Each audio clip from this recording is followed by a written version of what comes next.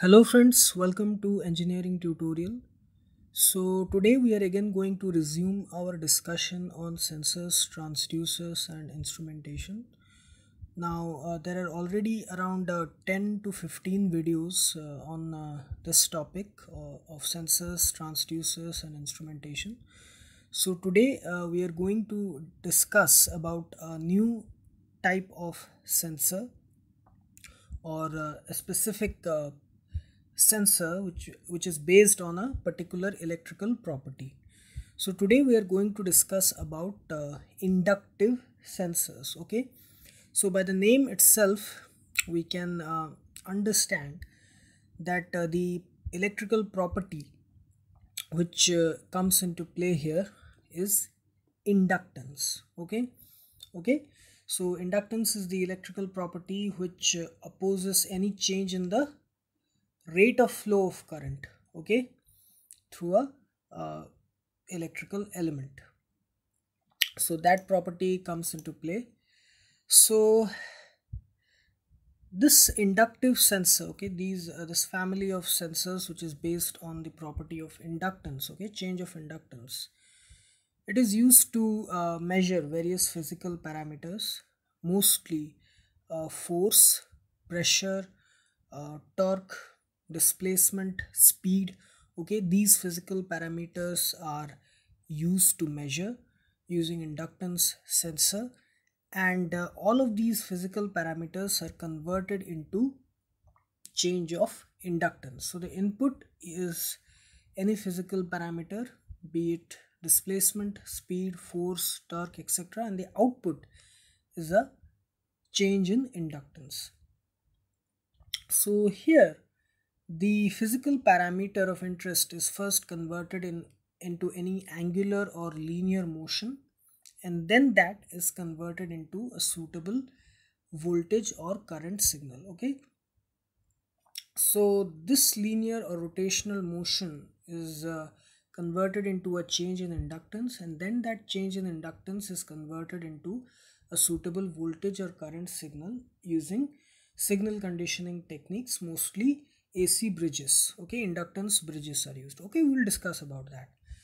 So the inductance sensor which is uh, generally used it consists of three parts okay? A ferromagnetic core okay? Let's see. This this is a typical design of a of an inductance sensor so it consists of a ferromagnetic core, this C-shaped uh, element with a number of turns of coil wound over it, which is supplied from a voltage source. Then it has a ferromagnetic armature, which is the movable element.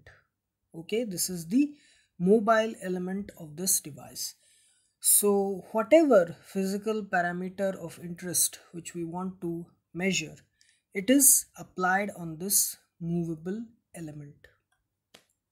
Okay. And in between the ferromagnetic core and armature, there exists an air gap.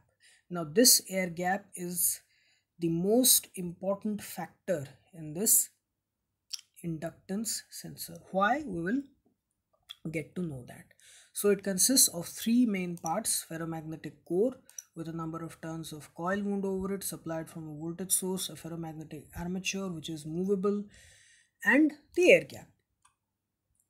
Okay, so before we uh, go into understanding the working principle, first we must uh, have a understanding of reluctance because it will come into play here so reluctance is uh, the property of a magnetic circuit which opposes any change in the sorry uh, which opposes the flow of magnetic flux lines okay? So reluctance opposes the flow of magnetic flux through a material. So the reluctance uh, of any material is given by the formula L by mu 0 mu r into A, where L is the length of the flux path, the magnetic flux path. Mu 0 is the absolute permeability of the medium which is air and mu r is the relative permeability of the material specific material whose reluctance we are uh, talking about and then a is the area of the flux path so l is the length of the flux path mu 0 is the absolute permeability mu r is the relative permeability and a is the area of the flux path so Permeability of any material is the relative ease with which the magnetic flux lines they are uh, allowed to penetrate through that material.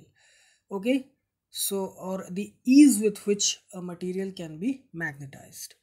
So the concept of reluctance comes into play in this uh, inductance sensor in this way. So in this uh, inductance sensor, the core, air gap and armature, the reluctance of these three parts will come into play. So the total reluctance of this inductance sensor is given by the reluctance of the core, the reluctance of the air gap and the reluctance of the armature. Both the uh, sorry the three elements the armature, the armature, the core and the air gap. So we have already uh, we know that the reluctance is given by L by mu 0 mu r into A that is length divided by the product of the permeabilities of the absolute and the relative permeabilities and then the area of the flux path. So for the core, okay, this core here, this is the radius of this semicircular core, the semitoroid. This is the radius, capital R. So this dotted lines which you see here through this semi-circular uh, core. This is the flux path of this core. So obviously it is the circumference of this semicircle. So that will be pi r. Okay. So here for the core the length of the flux path is pi r. Then the area of the flux path. Now the area of the flux path is this area of cross section of this semicircular element the area of cross section now the radius of cross section of this semicircular element this core is small r which is the radius of the cross section of this cross section so the area of the flux path will be simply pi r square the small r okay? So here the reluctance of the core is length of the flux path which is pi r then the absolute and relative permeabilities mu 0 mu c which is the permeability of the core. Mu subscript c is the permeability of the core. Then the area of the flux path is pi small r square. So here pi pi both got cancelled out in the numerator and denominator. So it becomes capital R by mu 0 mu c into r square. So again to avoid any confusion capital R is the radius of this semicircle okay? The semicircle core from the center position. And small r is the radius of cross section of this inner inner cross section that of this uh, uh, core the semicircular core. Again for the now the reluctance of the air gap okay which is the most important factor here so the reluctance of the air gap that is given by 2d by mu 0 pi r square. Okay, so here this is the gap in between the armature and this semicircular core D. Okay, and uh, this is twice of that distance which is the length of the flux path involving air in the space in between this core and the armature and uh, the cross sectional area of this flux path in free space okay involving this okay not this space just the space separating this core and armature the cross sectional area is same as the cross sectional area of this core okay so the reluctance of the air gap is 2d by mu 0 pi r square. Only mu 0 comes into play because for free space the absolute permeability is there only, no relative permeability. So the reluctance of the air gap is 2d by mu 0 pi r square. Okay, twice this distance, two times this distance is covered. And the area of cross section of this free space the space separating this core and armature only this portion and this portion is same as the cross sectional area of this core. So 2d by pi r square. Now the armature. Okay. So the reluctance of the armature is again length of the armature by area. So here it is 2r by mu 0 mu a 2r t. Mu 0 absolute permeability mu a is the armature permeability 2r is the length of the flux path. See this is the radius from the center point to this so this is twice the length of the armature is twice this radius so 2r this much from here to here r again from here to here r so 2r and uh, the t here okay the t in the armature here is the thickness of the armature okay the thickness of the armature.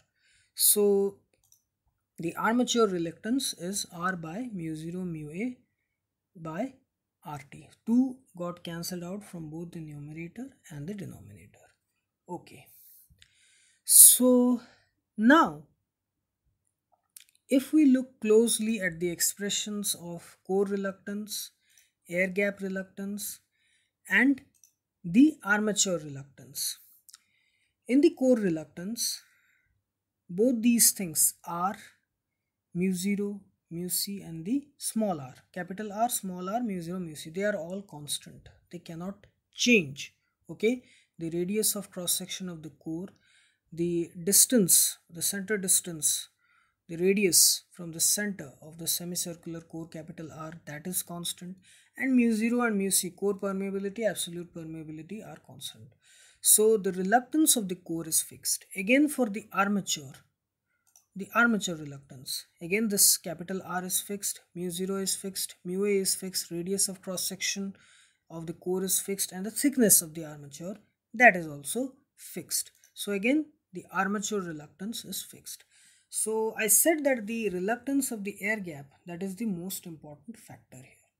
So this separation between the armature and this core this gap the air gap is the most important factor here which contributes to a change in the reluctance of the air gap and hence the total reluctance okay?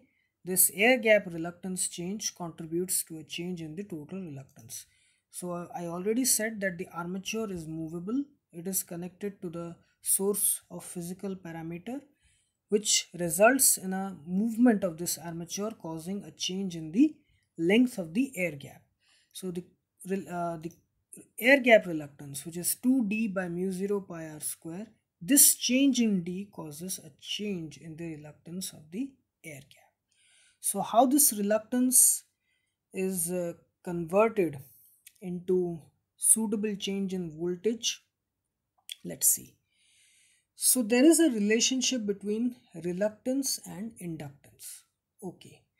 Now i have already discussed this in the uh, electrical machine section but here again I will discuss it that uh, in a magnetic circuit a magnetomotive force drives a flux through this circuit reluctance. It is similar to an electrical circuit an electromotive force drives a current through a resistance here a magnetomotive force drives flux through reluctance. So MMF is given by phi into R okay magnetic flux and reluctance R. Also this magnetomotive force is given by Ni where N is this number of turns of coil and I is the current flowing through each turn. Okay, so MMF is also equal to Ni. So if we equate these two equations, we'll get Ni is equal to phi r or phi is equal to Ni by r. Okay, the flux uh, associated with each turn of coil. Now the total flux okay the total flux associated with this n turns of coil okay the n turns of coil it is given by n phi okay which is equal to n square i by r okay it is the total flux. Now we know that uh, inductance is given by total flux divided by current i that is the formula of inductance self inductance again this is all related to network theory or circuit theory so the self inductance is given by total flux by current flowing through uh, through each turn so it is equal to n square by r so this is an important equation relating self-inductance or inductance and reluctance. So inductance is inversely proportional to reluctance. So here in this case, the inductive sensor, the inductance of this sensor is equal to n by i which is equal to n square by total reluctance r total. So in this inductive sensor, this armature is connected to the physical parameter be it force or pressure or speed displacement whatever because of that this armature the movable armature it moves to and fro away or towards this causing a change in the air gap so this change in the air gap causes a change in the air gap reluctance as per this formula 2d by mu 0 pi r square this change in the reluctance of the air gap causes a change in the total reluctance. This total reluctance changes because of change in the air gap reluctance. The other two reluctances are constant. They, they cannot be changed. So because of that, there is a change in the inductance of this sensor as per this formula n square by r total. Now how this inductance is converted into voltage? Through the help of proper signal conditioning with the help of AC bridges, inductance involving inductances. So any AC bridge can be used. So this inductive sensing element is uh, connected as one arm of this uh, AC bridge which converts it into a suitable voltage change which is generally of uh, low magnitude. So it is uh, amplified with the help of a voltage amplifier to give us a voltage output. So this is the whole operation of this inductance sensor okay so first the physical parameter of interest is uh, fed to this movable armature which causes a change in the air gap distance this change in air gap distance causes a change in the air gap reluctance so this air gap reluctance change causes a change in the total reluctance and this total reluctance change causes a change in the sensor inductance now so this inductance again is converted into suitable voltage change with the help of AC bridge. So this is the whole operation of the inductance sensor. So I hope you like this video and please subscribe my channel engineering tutorial for more such videos related to electrical electronics instrumentation communication engineering. Have a great day. Thank you very much